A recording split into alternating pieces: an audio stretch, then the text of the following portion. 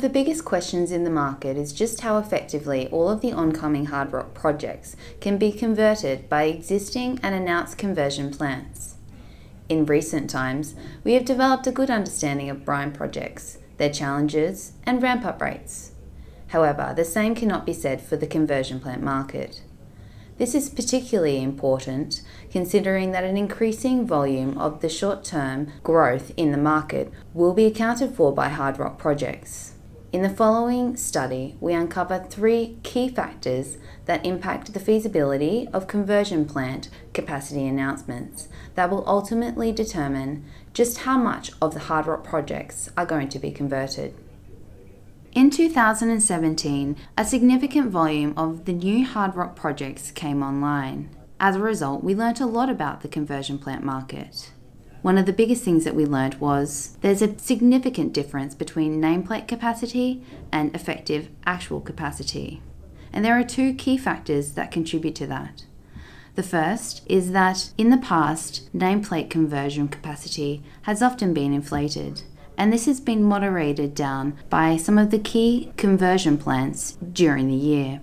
The second factor that has contributed to this inflation is that sometimes the conversion plants are in a stage of commissioning with new feed, and as a result, that capacity is not available. In our recent research, we've discovered that between 2010 and 2016, the utilization rates of the plants was approximately 60%. In 2017, over 100,000 tonnes of spodumene concentrate was imported by China. This excludes DSO. However, considering that recent utilisation rates were 60%, this is not feasible that all of these imports were converted, as it would have required the conversion plants to operate at a utilisation rate of over 90%.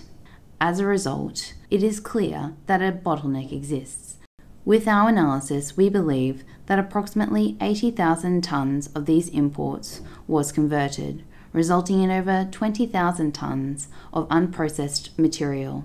To get a good understanding of how the conversion plant market has evolved, we took a look back at its history, which dates back as far as the 1950s, when over 20 spodumene and lepidolite plants were in operation. They were largely small batch processing operations which were vertically integrated. They had small capacities of around 2,000 tonnes, which meant that the total capacity was around 40,000 tonnes. However, when more cost competitive Chilean brine entered into the market around the 2000s, around 30,000 tonnes of this conversion capacity was forced out of the market, leaving approximately 10,000 tonnes in operation by 2003. This capacity was composed of plants that had existing supply agreements with Greenbushes 6% grade feed. Shifting forward from 2003 to 2008, and the lithium price tripled from around 2000 US dollars to approximately 6000 US dollars, re incentivizing these plants back into the market. Any of the new capacity that was added was done so by bolt on additions. Therefore, the market grew from an inefficient base. And the key takeaway is that up until 2008, none of the new capacity that was brought online used new technology, and therefore we were expanding an inefficient base. We wanted to get a good understanding of how these plants were actually performing. We took a look at what their production was. You can see in the chart on the left that around 50% of the new capacity that was added between 2003 and 2008 was composed of conversion plants who were intending to process Chinese domestic sources and the other 50% of Greenbushes. However, over 90% of the production was from conversion plants using Greenbushes feed. So clearly, the quality of the spodumene concentrate or lepidolite that is being used by these plants is important and has a big impact on utilization rates, which is represented by the chart on the right. You can see that those using a 6% feed were operating at around 47%, and those using mixed feed but predominantly Chinese domestic was operating at 8%. So, feedstock is clearly very important.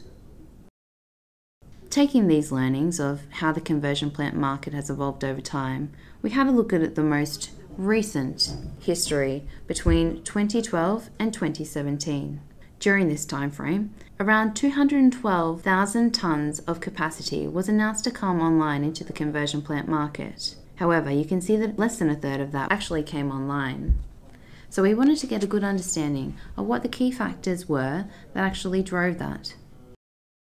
You can see on this slide that a significant volume of the capacity to come online in 2017 was announced on the basis of a huge volume of hard rock projects coming online during this time. There was also an underestimate of the challenges involved in commissioning, constructing, and scaling these operations using new, unfamiliar, and or mixed feedstock.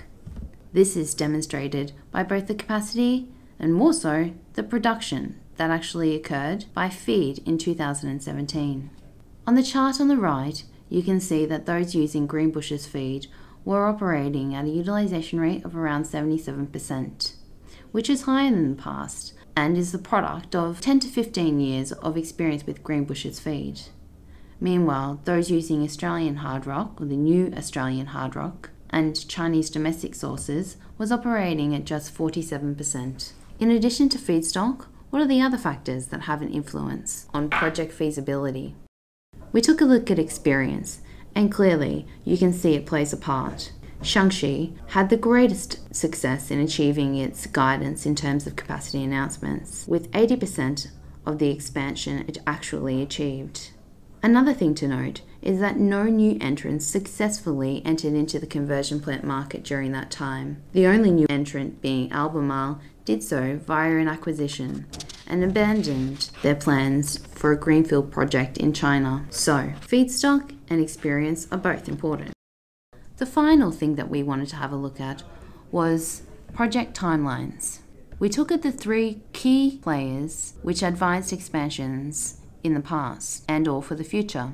Tianqi's Kwinana plant is seen as the benchmark, and you can see that it has a four year timeline. We consider that to be the minimum. When you take into consideration past and how the conversion plant market has evolved over time, you can see that there is a number of factors, and we've actually distilled over 10 factors that influence the success of these expansions down to just three and these are time, feedstock security, and experience. You can see on the following slide the impact of risking on the basis of these three factors. The first row, you can see an unrisked version, and there is a lot of challenges that would be involved as a result of the huge proportion of the announcements being composed of those who are independent players and new producers.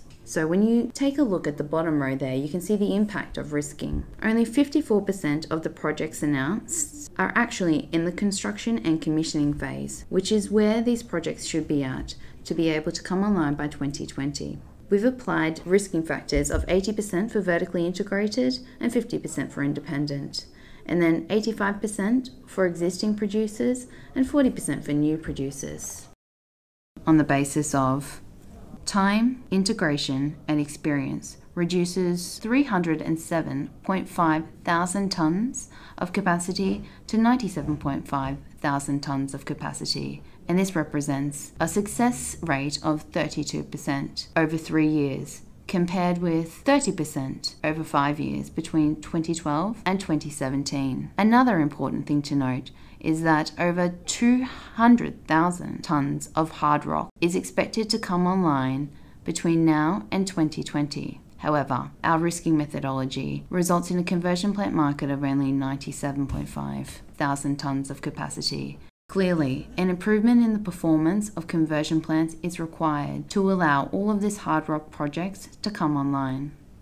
So, in summary, the three key factors are project progress, feedstock security, and experience. Applying these risking factors reduces 307,000 tonnes of capacity to 97.5 thousand tonnes to come online between now and 2020. To bring supply up in line with baseline demand, a very prompt improvement in the performance of conversion plants is required.